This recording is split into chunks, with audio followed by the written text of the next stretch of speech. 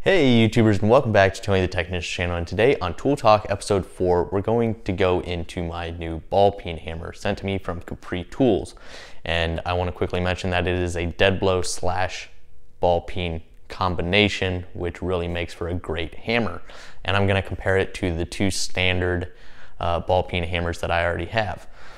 Also I want to mention that the design of this I don't know if Trusty Cook was the original one, but is the big name out there that everybody really loves. It's a USA made uh, hammer company.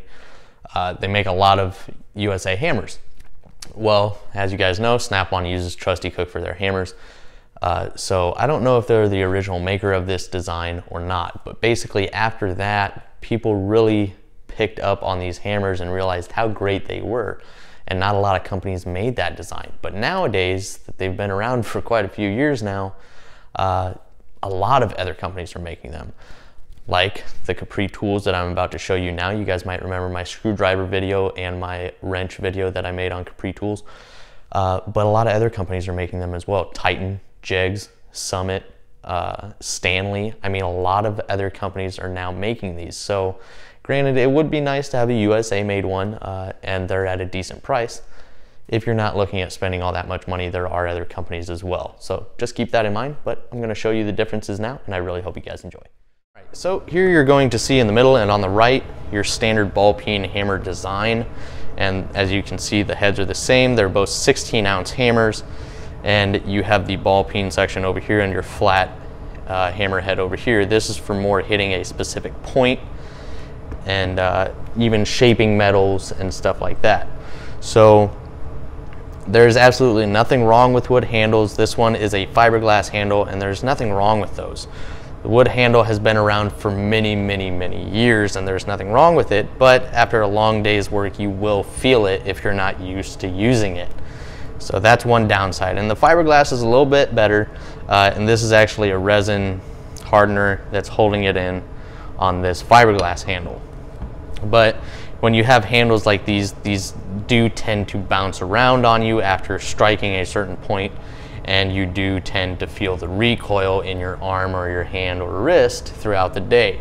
Whereas the dead blow ball peen, this one being from Capri, part number Delta Bravo Hotel Bravo 36, a 36 ounce ball peen, but they've incorporated the dead blow portion into here, which is a steel shot inside of here and it has a metal rod all the way down through the handle and is welded up here at the top.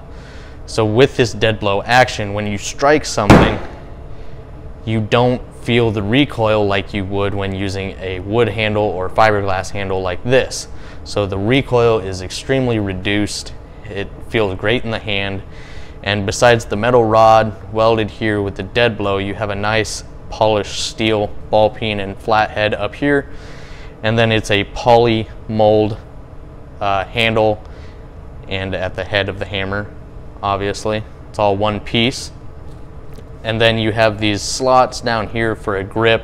Uh, I wish it was more grit style whereas this is a smooth poly. So if they added grit it would be even better but the slots do help you get a good grip on it and it does have the flared or beveled end so your hand doesn't come slipping off of the hammer so you get a good grip on it. So overall, a really nice hammer.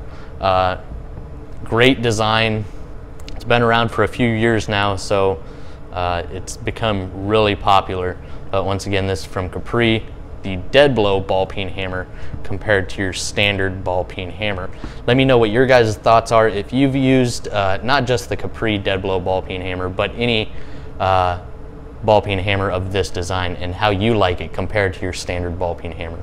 And if you guys haven't used them before, I really do suggest it. It's uh, especially if you're using it a lot, you'll you'll be very thankful for it. So I really hope you guys enjoy. Uh, the prices and information will all be linked down in the description. And I really hope you guys enjoyed. I'll see you guys next time.